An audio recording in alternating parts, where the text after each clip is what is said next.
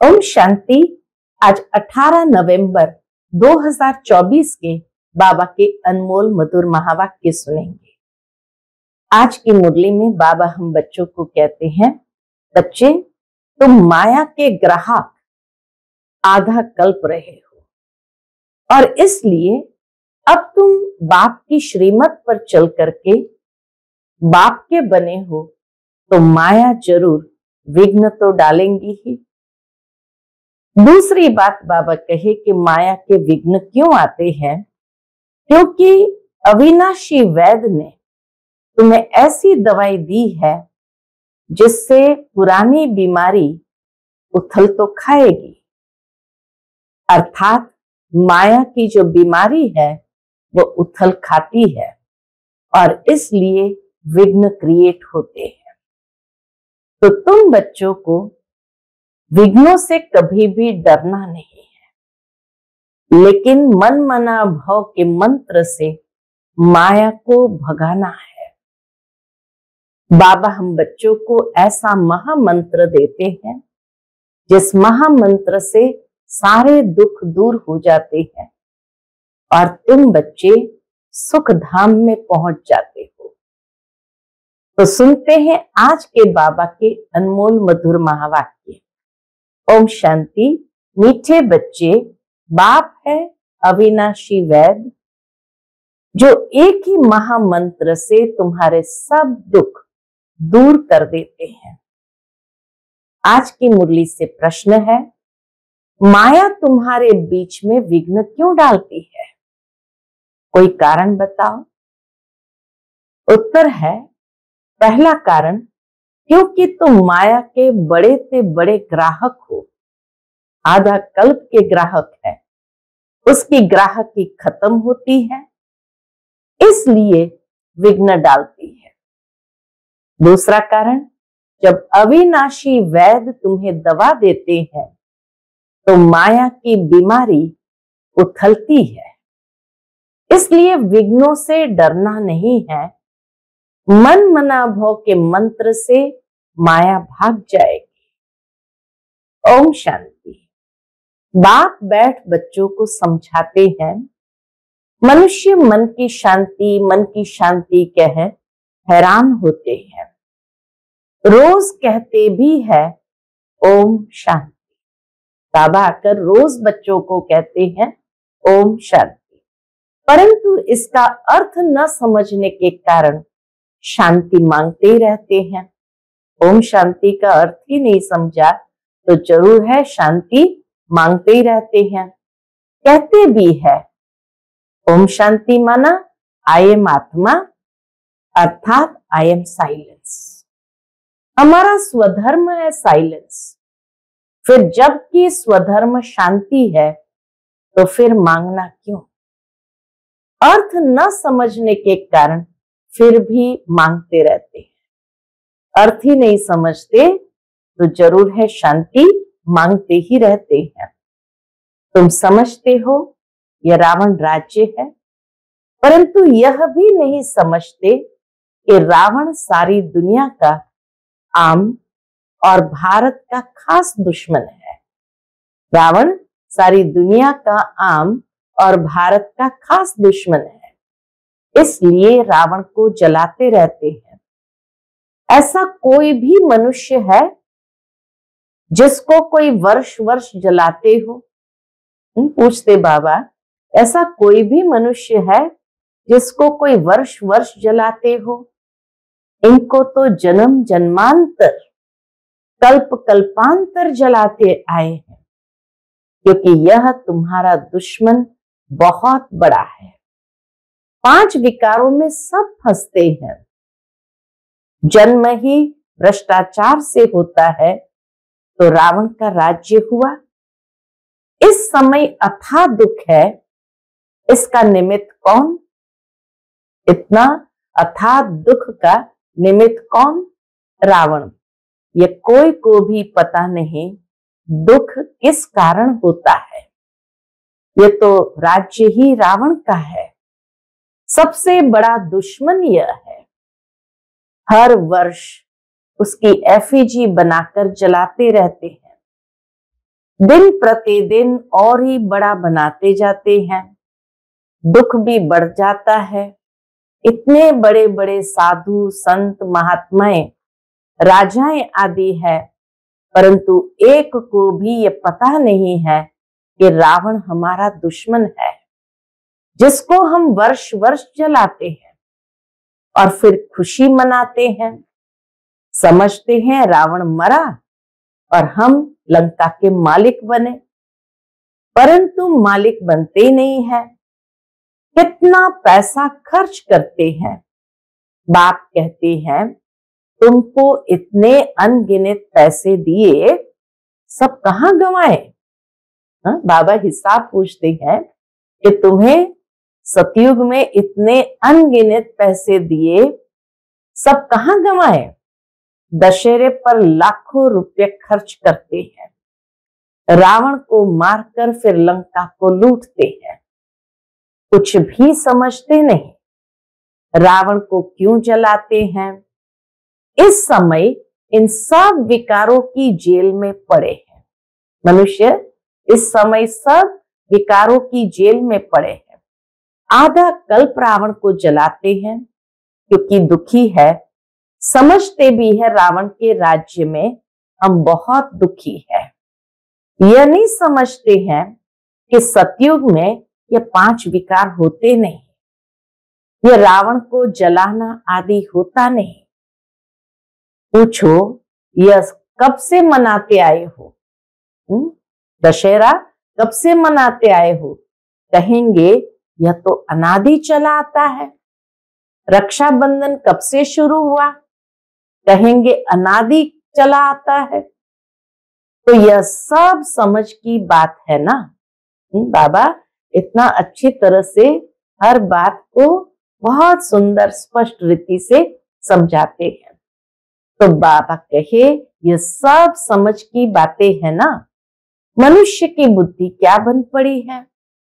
न जानवर है, न मनुष्य है, कोई काम के नहीं स्वर्ग को बिल्कुल जानते ही नहीं है।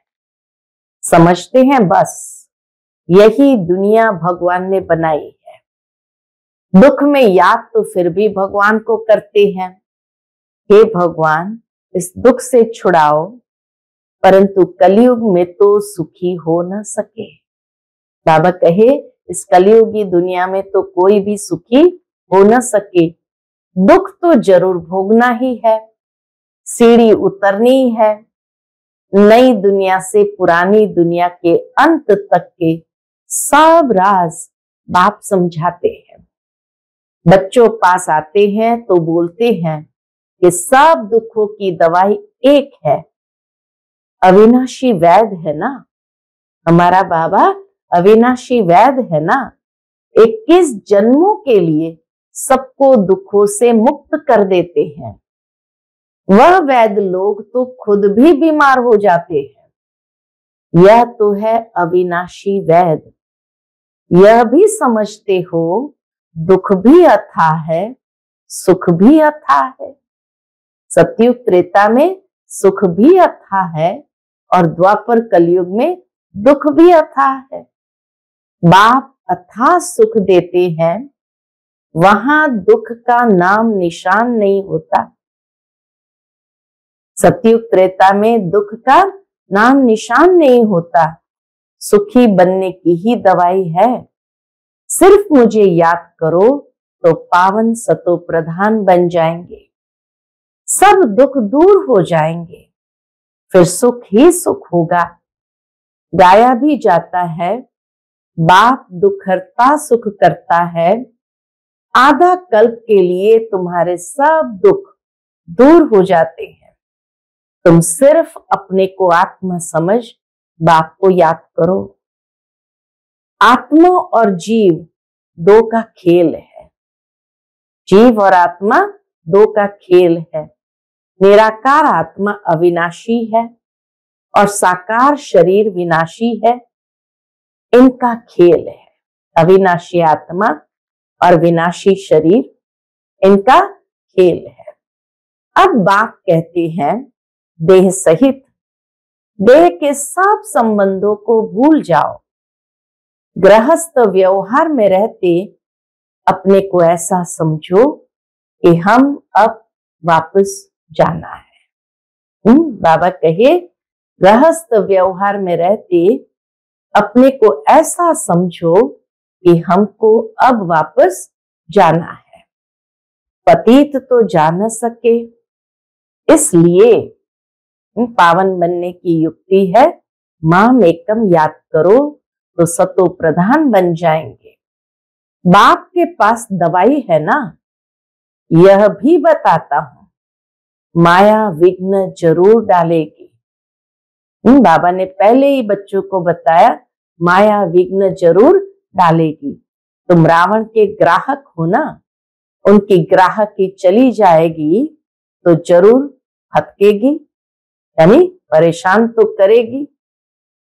तो बाप समझाते हैं, यह तो पढ़ाई है, कोई दवाई नहीं है। दवाई यह है याद की यात्रा। याद की यात्रा यह है दवाई। एक ही दवाई से तुम्हारे सब दुख दूर हो जाएँगे। अगर मेरे को निरंतर याद करने का पुरुषार्थ करेंगे तो। भक्ति मार्ग में ऐसे बहुत है, जिनका मुख चलता ही रहता है। कोई ना कोई मंत्र राम नाम जपते रहते हैं। उनको गुरु का मंत्र मिला हुआ है। इतना बार तुमको रोज जपना है। हाँ, जब गुरु मंत्र देते हैं तो लोग उसे कहते रोज इतनी बार जपना है। इतनी बार तुमको रोज जपना है। उनको कहते हैं राम के नाम की माला जपना। इसको ही राम नाम का दाम कहते हैं। ऐसी बहुत संस्थाएँ बनी हुई है। राम राम जपते रहेंगे तो झगड़ा आदि कोई करेंगे नहीं। बिज़ी रहेंगे। जपने में ही बिज़ी रहेंगे तो मुख से उल्टा सुलटा कुछ बोलेंगे नहीं। कोई कुछ कहेगा भी तो भी रिस्पॉन्स नहीं देंगे। बहुत थोड़े ऐसे करते हैं। बाबा कहे लेकिन बहुत थोड़े मनुष्य ऐसा करते हैं कि अपने आप को हम्म, मंत्र जपने में बिज़ी रखते हैं। बहुत थोड़े ऐसा करते हैं। यहाँ फिर बाप समझाते हैं, राम राम, कोई मुख से कहना नहीं है। यह तो अजपा जाप है। अंदर ही अंदर अजपा जाप है। सिर्फ़ बाप को याद करते रहो। बाप कहते हैं, मैं कोई राम नहीं हूँ। राम तो त्रेता का था, जिसकी राजाई थी। उनको तो जपना नहीं है। अब बाप समझाते हैं भक्ति मार्ग में ये सब सिमरण करते, पूजा करते, तुम सीढ़ी नीचे ही उतरते आए हो। क्योंकि वह सब है अनराइटियस दुनिया में मनुष्य के कर्म अनराइटियस हो गए राइटियस तो एक ही बाप है। वह तुम बच्चों को बैठ समझाते हैं। ये कैसे भूल भुलैया का खेल है? जिस बाप से इतना बेहद का वर्षा मिलता है, उनको याद करे तो चेहरा ही उनका चमकता रहे। खुशी में चेहरा खिल जाता है। मुख पर मुस्कुराहट आ जाती है। तुम जानते हो, बाप को याद करने से हम यह बनेंगे। आधा कल्प के लिए हमारे सब दुख दूर हो जाएँगे। ऐसा नहीं बाबा कुछ कृपा कर देंगे। ऐसी बात नहीं है कि बाबा कुछ कृपा कर देंगे। नहीं यह समझना है, हम बाप को जितना याद करेंगे, उतना सतो प्रधान बन जाएँगे। ये लक्ष्मी नारायण, विश्व के मालिक, कितने हर्षित मुख है। ऐसा बनना है। बेहद के बाप को याद कर, अंदर में खुशी होती है फिर से हम विश्व का मालिक बनेंगे। यह आत्मा के खुशी के संस्कार है। बाबा कहे ये आत्मा की खुशी के संस्कार ही फिर साथ चलेंगे। इसलिए यहाँ हमें बाप को याद कर अंदर ही अंदर खुशी होती है कि हम विश्व के मालिक बनेंगे। और यही खुशी के संस्कार आत्मा में जो है, वो साथ चलेंगे। फिर थोड़ा थोड़ा कम होता जाएगा। इस समय माया तुमको बहुत हैरान करेगी। माया कोशिश करेगी तुम्हारी याद को भुलाने की। सदैव ऐसे हर्षित मुख रह नहीं सकेंगे। क्योंकि माया के कोई ना कोई थप्पड़ तो कभी लग ही जाएँगी। तो इसीलिए बाबा कहे, सदैव ऐसे हर्षित मुख रह नहीं सकेंगे। ज़रूर कोई समय गुटका खाएँगे। मनुष्य जब बीमार पड़ते हैं तो उनको कहते भी होंगे शिव बाबा को याद करो। परंतु शिव बाबा है कौन? ये किसको पता ही नहीं तो क्या समझ याद करे। हाँ, दुनिया में भी मनुष्य अगर बीमार पड़ते हैं और उनको कहते हैं शिव बाबा को याद करो। परंतु शिव बाबा है कौन? ये किसको पता ही नहीं तो क्या समझ याद करेंगे? क्यों याद करें? तुम बच्चे तो जानते हो, बाप को याद करने से हम तमो प्रधान से सतो प्रधान बनेंगे। देवी देवता सतो प्रधान है ना? उनको कहा ही जाता है डीटी वर्ल्ड बाबा कहे, उस दुनिया को कहा ही जाता है डीटी वर्ल्ड मनुष्य की दुनिया नहीं कहा जाता। सतयुग को मनुष्य की दुनिया नहीं कहा जाता। वो तो है ही देवताओं की दुनिया। मनुष्य नाम होता ही नहीं। वहाँ के शब्दकोश में, देवताओं के शब्दकोश में मनुष्य नाम ही नहीं होता है। फलाना देवता, वह है ही डीटी वर्ल्ड, यह है ह्यूमन वर्ल्ड। यह सब समझने की बातें हैं। बाप ही समझाते हैं। बाप को कहा जाता है ज्ञान का सागर। बाप अनेक प्रकार की समझाने देते रहते हैं। फिर भी पिछाड़ी में महामंत्र देते हैं। बाप को याद करो तो तुम सतो प्रधान बन जाएँगे। यही महामंत्र बाबा से मिलता और तुम्हारे सब दुख दूर हो जाएँगे। कल्प पहले भी तुम देवी देवता बने थे। तुम्हारी सीरत देवताओं जैसी थी। वहाँ कोई भी उल्टा सुल्टा बोलते नहीं थे। ऐसा कोई काम ही नहीं होता। वह है ही डीटी वर्ल्ड। यह है ह्यूमन वर्ल्ड। फ़र्क है ना? दोनों दुनिया में बहुत अंतर है। यह बाप बैठ समझाते हैं। मनुष्य तो समझते हैं। डीटी वर्ल्ड को लाखों वर्ष हो गए। यहाँ तो कोई को देवता कह नहीं सकते। देवताएँ तो स्वच्छ थे। महान आत्मा देवी देवता को कहा जाता है। मनुष्य को कभी नहीं कह सकते। यह है ही रावण की दुनिया। रावण बड़ा भारी दुश्मन है। इन जैसा दुश्मन कोई होता नहीं है। हर वर्ष तुम रावण को जलाते हो। कि है कौन? बाबा कहे, हर वर्ष रावण को जलाते हैं तो ये है कौन? इसको पता ही नहीं है। कोई मनुष्य तो नहीं है। यह है पाँच विकार। इसलिए इनको रावण राज्य कहा जाता है। पाँच विकारों का राज्य है ना? सब में पाँच विकार है। यह दुर्गति और सदगति का खेल बना हुआ है। अभी तुमको सदगति के टाइम आदि का भी बाप ने समझाया है। सदगति में आदि के टाइम का भी बाबा ने समझाया है। दुर्गति का भी समझाया है। कैसे? दुर्गति की ओर जाते हैं।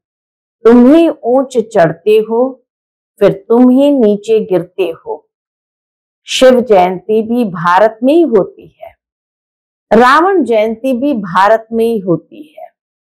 आधा कल्प है दैवी दुनिया, लक्ष्मी नारायण, राम सीता का राज्य होता है। अभी तुम बच्चे सबकी बायोग्राफी को जानते हो। महिमा सारी तुम्हारी है। नवरात्रि पर पूजा आदि सब तुम्हारी होती है। बाबा कहे ये शिव शक्तियाँ भी तुम हो। तो नवरात्र पर पूजा आदि सब तुम्हारी होती है। तुम ही स्थापना करते हो। श्रीमत पर चल तुम विश्व को चेंज करते हो। तो श्रीमत पर पूरा चलना चाहिए ना। नंबरवार पुरुषार्थ करते रहते हैं। स्थापना होती रहती है। इसमें लड़ाई आदि की कोई बात नहीं।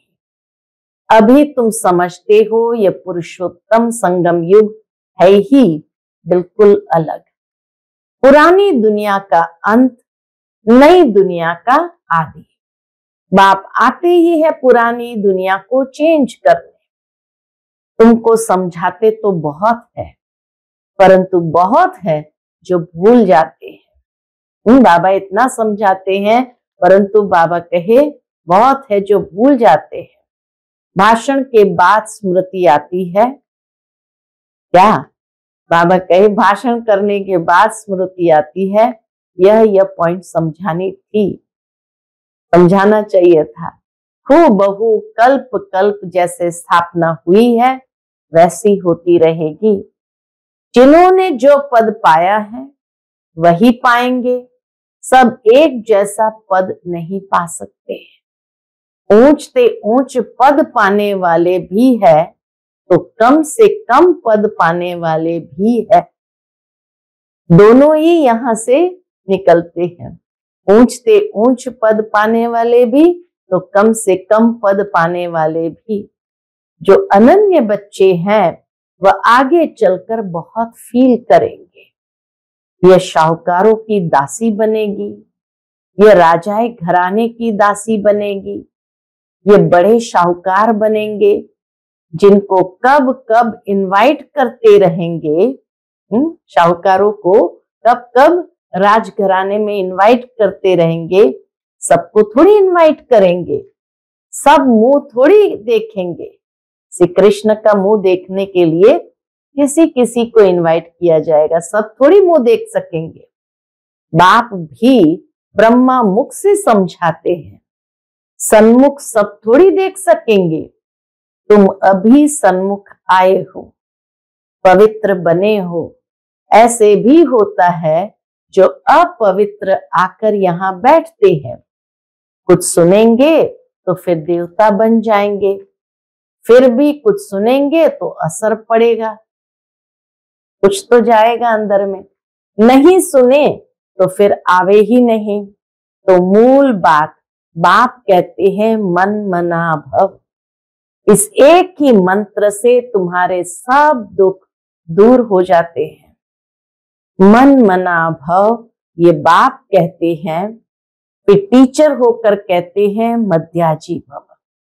पढ़ाई करेंगे तो मध्य में विष्णु जो है, उसके दुनिया में जाएँगे। तो मन मना भव, अर्थात बाप को याद करो। और फिर टीचर कहते हैं, मध्याजी भव यह बाप भी है, टीचर भी है, गुरु भी है। तीनों ही याद रहे तो भी बहुत हर्षित मुख अवस्था रहे। बाप पढ़ाते हैं, फिर बाप ही साथ ले जाते हैं। ऐसे बाप को कितना याद करना चाहिए? भक्ति मार्ग में तो बाप को कोई जानते ही नहीं। सिर्फ़ इतना जानते हैं, भगवान है, हम सब ब्रदर्स हैं, बाप से क्या मिलना है वो कुछ भी पता नहीं है। तुम अभी समझते हो, एक बाप है, हम उनके बच्चे सब ब्रदर्स हैं। ये बेहद की बात है ना? सब बच्चों को टीचर बन पढ़ाते हैं। फिर तो सबका हिसाब किताब चुकतू कराए, वापस ले जाएँगे। इस छीछी दुनिया से वापस जाना है। नई दुनिया में आने के लिए तुमको लायक बनाते हैं। जो जो लायक बनते हैं, वह सतयुग में आते हैं। जो जो लायक बनते हैं, वह सतयुग में आते हैं। अच्छा मीठे मीठे सिकिलते बच्चों प्रति मात पिता, बाप दादा का याद प्यार और गुड मॉर्निंग, रूहानी बाप की रूहानी बच्चों को नमस्ते।